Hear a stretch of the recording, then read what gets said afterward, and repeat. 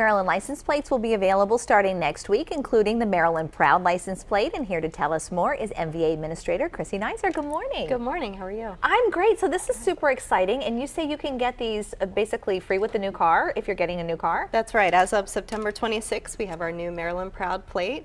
And uh, obviously, all of us who live in Maryland, born in Maryland, we're so proud of our Maryland flag. And, right. And so that allows you to proudly display it on your vehicle. Yes. So it's not going to say Maryland Proud, but you will be able to see that beautiful Maryland flag underneath. Beautiful flag. Okay, you have all kinds of other license plates to support different organizations. That's right. There's a lot of options that people might not be aware of. Mm -hmm. uh, we have a plate that supports our agricultural foundation and display your pride in that. This one's so colorful. Farms. Very colorful.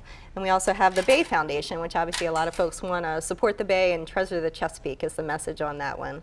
Uh, in addition to that, we have almost a thousand organizational plates actually, and we brought actually the Ravens plate. Obviously, of with the game tomorrow, everybody uh, would love to support the Ravens, and so that's an organizational plate you can get. I have always wondered about this one too, how you get that one. So, what are some of the different organizations you have in addition to Ravens? Well, all of our major sports teams, of mm -hmm. course, the mm-hmm. Orioles right. have it, even the Redskins, Washington Nationals, but there's many organizations like many organizations like the SPCA that folks okay. would love to support. All right, and then of course we have this new one. That's right, our Maryland Proud plate.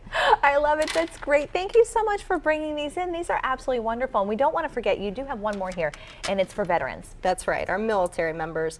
Uh, all the members of the armed forces mm -hmm. can get a plate. We also have medals of honor that they can display proudly on their plate as well. And so uh, certainly important to honor our veterans. That's excellent. Really great license plate you brought in. And if people want to get them, all they have to do is? They can actually go online, our website, and um, it's only $20 if you're doing it outside of mm -hmm. time of renewal or getting a, a, new plate on a car. And so we encourage you go online. You'll get that new plate in five to seven days. All right, excellent. Chrissy, thanks so much for coming in. Really appreciate it.